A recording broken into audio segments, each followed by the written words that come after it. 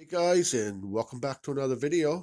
Today I want to show you my vintage 1976 Coleco Telstar uh, game I picked up at a pawn stop shop here in the, the city three or four days ago.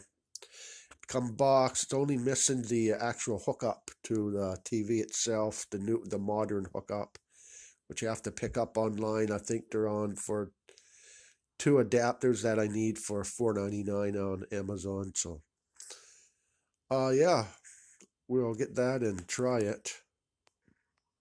As, as you can see, it came uh comes with the original box, which is pretty cool. See if I can move it around here. It claims to play hockey, tennis, handball. Except for one time a hookup.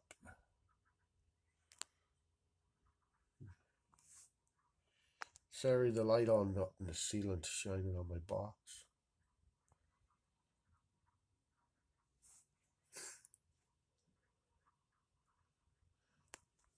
There's a date on it this year. There's two dates, but this is the date that it was made, 1976.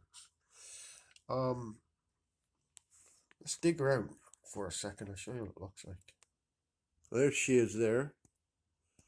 Um, these things are probably about, I don't know, I'm guessing they're close to 20 inches long because they're pretty big.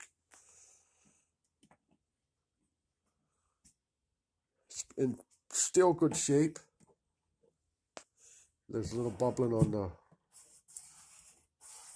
stickers here, but besides that, I don't see anything wrong with it. Yeah, here's the end I need. This is the ends that are hooked to these. And uh, of course, the switch box is there, but today's new uh, TVs do not have screws for these boxes to hook to.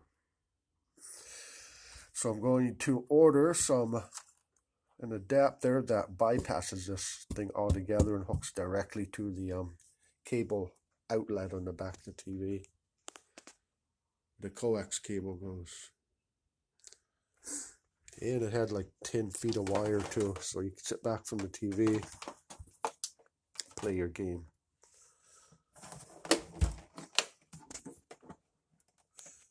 And they took six C batteries. I don't know if they ever actually used it or not.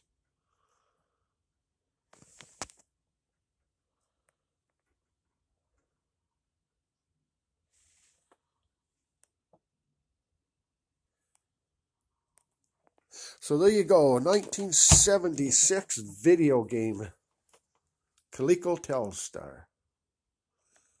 I found her box. The only thing missing in the box was the top styrofoam, but the bottom one's there, so I was happy with that. You don't usually find the boxes with them after 50 years, but anyway, I'm rambling. Have a great day, and I'll see you again.